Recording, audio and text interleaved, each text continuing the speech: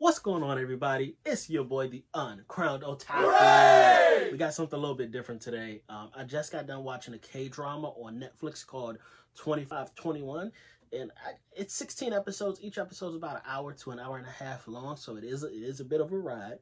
And I got mixed feelings about it because in the beginning, it started off with this dude who is well well past graduate. He's four years younger than the girl he's um interacting with and she's still in high school. She's trying to do fencing, and this dude's trying to get his life together. And I like the I like the main character because he starred in um he's the guy from Startup.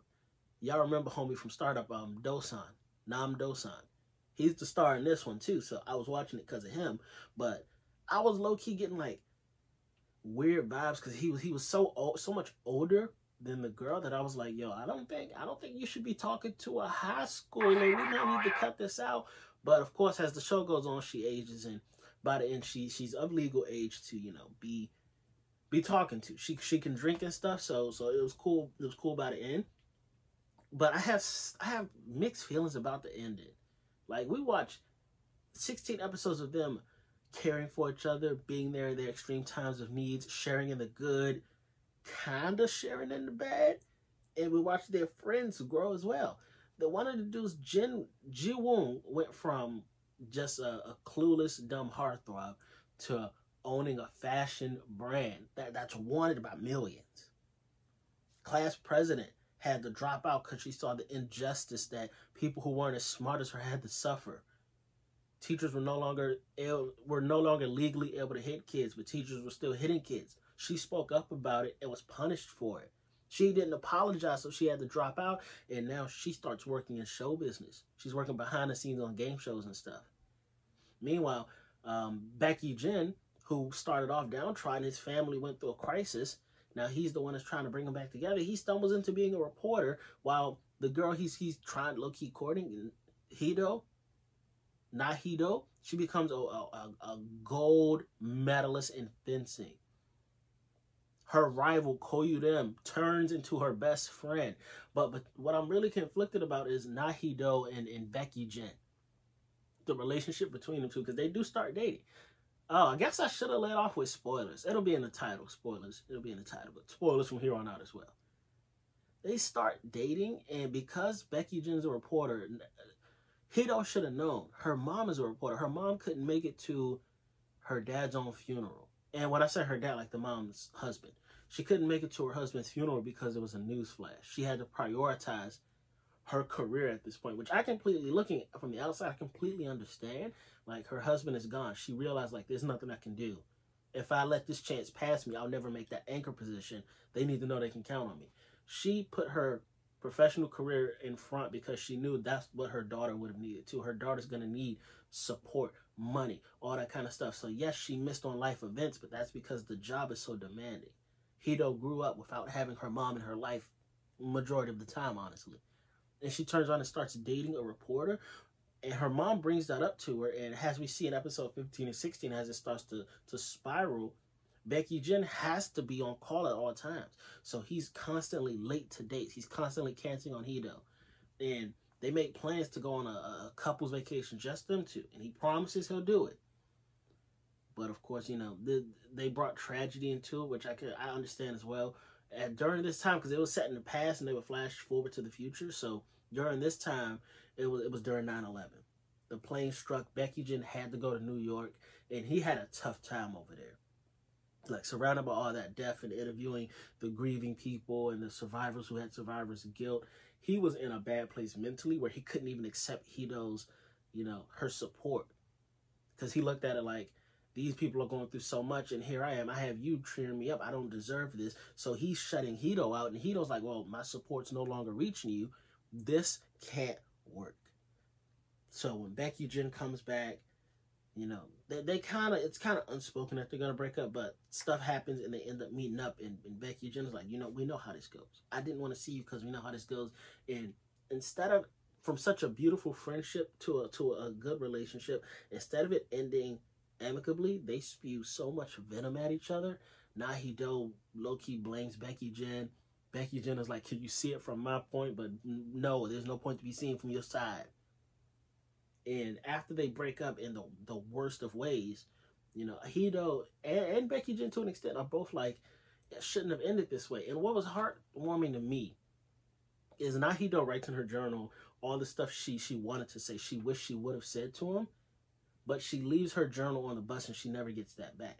Lo and behold, Baek Yi-jin is the person who finds that journal. And after reading that, even though they didn't go on a couples retreat, Na Hee-do went alone. After saying she didn't, she went alone. She read the card Baek Yi-jin had seen. Baek Yi-jin read everything she was journaling while he was in New York. He understood exactly where she was coming from and why she came to the conclusion of, you know, where we don't, this kind of love isn't good for both of us. We don't fit anymore. So Baek Yi-jin wrote one last page in the diary and gave it to the bookshop dude from episode one and two, the bookshop owner, to give to Na Hee-do because he knows Hee-do visited that bookshop frequently. So we we we flash forward and Na Hee-do's married. She has a kid, and the whole time we knew she she had a kid, but we didn't know who she married and that's Loki where I'm pissed off because we still don't know who she married. Like, WTF, get, clue me in. Was it one of the fencing people we saw? Maybe the dude that she was walking away with before one of her tournaments? Like, who, WTF, who did she marry? Who is this girl's dad? The girl that's reading Na Hee-do's journal. Who is her papa?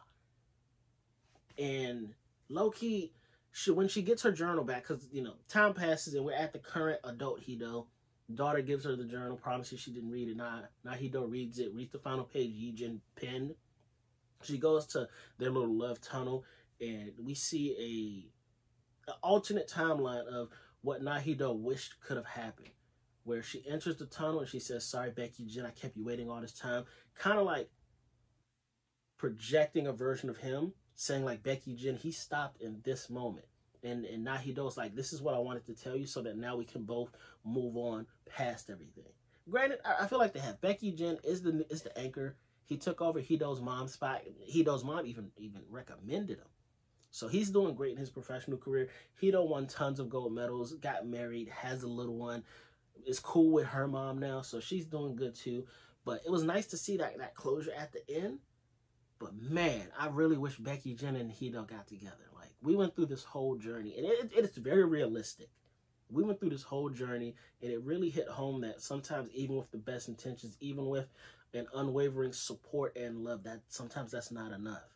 Life's gonna pull you in different directions, and that's honestly what happened. Life hit them both, and there was just no way for for them to come together. Baek Yi-jin was being pulled to the left, Hee-do was being pulled to the right. Hee-do had tournaments overseas. When Baek Yi-jin could get time off, Hee-do was gone. When Hee-do was home, Baek Yi-jin was gone and had to be on call constantly. There was just, they still love each other. And we saw the report. Baek Yi-jin, his first time being the anchor, interviews Hee-do, who wins a gold medal. And Hee-do's, you know, she wishes him the best. And says that he'll always have her support. And him likewise. Even though they aren't in a relationship, they'll always have each other's support no matter what. That's honestly a ride or die for me. Like we aren't together, but I kill for you. You feel me? That's kind of the vibe I got. And I really wish they would have got together, man. That was the only thing where it made it so realistic that you want it to happen, but sometimes life just says it can't happen. Yes, y'all y'all have these feelings, but there's nothing you can do with these feelings because life won't let your feelings blossom together. But on the opposite side, Ji Woong and Ko Rim, they got together. They got engaged. You know, Ji Woong is running a successful business. Ko Rim is running a successful fencing class for the young ones. They are doing their thing. I wish we could have saw their wedding. I wish we could have saw the friends in their grown-up versions as well. We saw Hee-do and, and Hee-do's daughter and Hee-do's mom. I wish we could have saw the grown-up version of the friends too. That was the only thing that I was kind of. I was also kind of like, eh, show show me what, what they're doing. Show me where they're at. Seungwon is is potentially dating Baek Yi-jin's little brother. Show me that. I want to know what came of that too. But overall, it was a, solid. I didn't starting it. It was a rough watch, so I'm gonna give it a, a seven out of ten.